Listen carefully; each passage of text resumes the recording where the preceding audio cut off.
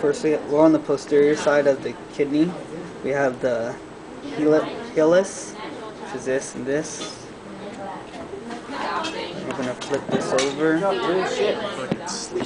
on this side we have the the pelvis. And then this outside white layer that's all around the kidney is the cortex. Got it? Mm-hmm. And then the medulla is really this whole portion. So from here to here, all the way down is the medulla. So it's really just this entire portion is the medulla.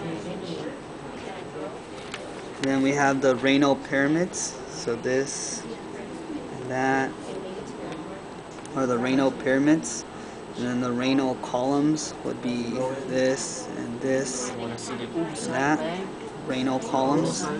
Then we have the minor calyx. So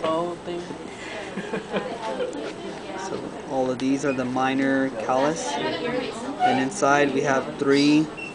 This one, this one, and this one are major calyx. So there's three of them.